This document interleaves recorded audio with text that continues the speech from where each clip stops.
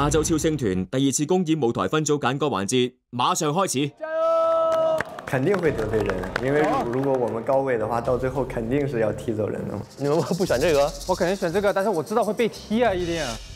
威哥，你想踢谁？完了，兄弟反目。我我真的心碎了。